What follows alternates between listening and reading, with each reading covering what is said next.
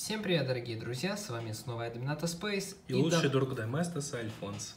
Да, и сегодня у нас будет обзор на легендарный набор Лего Гарри Поттера. 75945. Так называющийся Экспекта Патронум!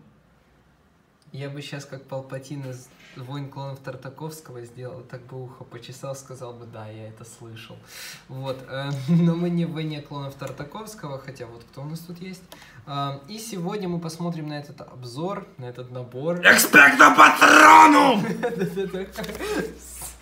И давайте без лишних рассусоливаний, пока Альфонс не убил ни Гарри, ни, ни, ни еле живущего. А куда ты его? Он же, у него же сушняк. Что, да оставь его Зачем ты его баночку забрал? Оставь в покое этого Ладно. Блэка. Ой. Давайте сперва посмотрим на минифигурки этого набора. Я расскажу вам про Дементоров, а Альфонс расскажет про Гарри. Только я дополню, дополню про дементоров очень интересную вещь. Видите эту детальку?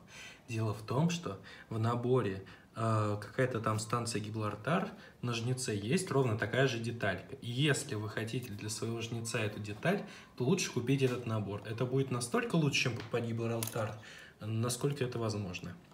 И с этим я солидарен. Сам же Дементор выполнен очень классно. Мне бы было еще здорово, если бы... Ну, не бы, конечно.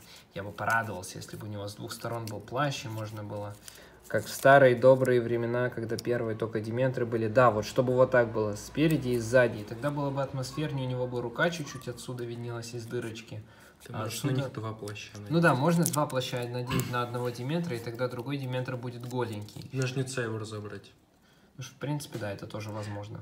Но пропечатка довольно классная, точно так же, как этот эффект его э, призрачной сущности. Ну и сзади у него пропечатки нету, потому что, ну, в принципе, зачем тут плащ? Это же дементор. Да, и Он принципе... никому не нужен. Его никто не любит. Вообще, Деметра очень классные фигурки, мне нравятся. Так что у нас в наборе два Деметра. Абсолютно одинаковых. Да, так что можно с ними армию клонов собирать. Ну, давай, Альфонс, расскажи нам про этого маленького Гарика. Что ж, Гарри Поттер. Точно не могу сказать, попадался ли абсолютно такой же в других наборах, но что такое. Он в обычной кофте, таких, наверное, дофига в Лего Сити, но я не уверен. Обычные детские ножки, при том, которые сгибаются, которые появились недавно в Гарри Поттере. И, по-моему, у него два лица. Одно такое слегка напряженное, другое жутко довольное. И, конечно же, шрам. Раньше он, кстати, был огромным, он просто с собой все закрывал. Ну, теперь он более Да, каноничный. и волосы тоже были каноничные, закрывающиеся это шрам. Также офигенные палочки. Раньше это просто здоровые палки были, а теперь вот. Примерно такие. Да, Ну и пора поговорить о ком. о Сириус и Блейке. Для Доминато Спейса эта фигурка особенно цена благодаря его волосам, потому что они Волосам. идеально подходят, я шутку так сказал, для Энакина Скайуокера, персонажа из Звездных войн. Но сначала мы сделаем обзор на Сириуса Блэка. На его теле мы можем заметить обычную тюремную робу из Аскабана, поверх которой либо пальто разорванное, либо еще что-то. Я фильм давно смотрел, точно не знаю.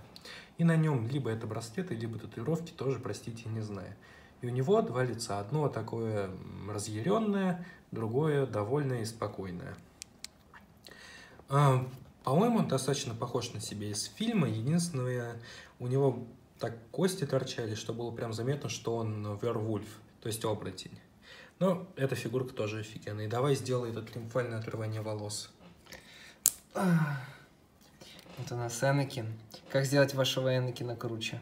Снимайте волосы из Войны Клонов, отдаете Сириусу Блэку, берете эти офигенные волосы, а и ваш Энакин готов.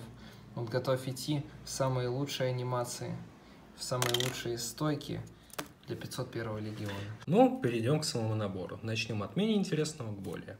В нем находится такая маленькая деталька, где немножечко водички, камешки, камыши и деревца. Я даже не знаю, что сказать. Деревце, но оно выглядит прикольно, пускай и плоское, как в Call of Duty, но, опять же, довольно интересно. Сделано и выглядит красиво. Другое дерево более интересное, пускай также ну, довольно простенько сделано и тоже плоско, как в Call of Duty. Потому что на нем находится вот такая вот деталь, вся в блестках.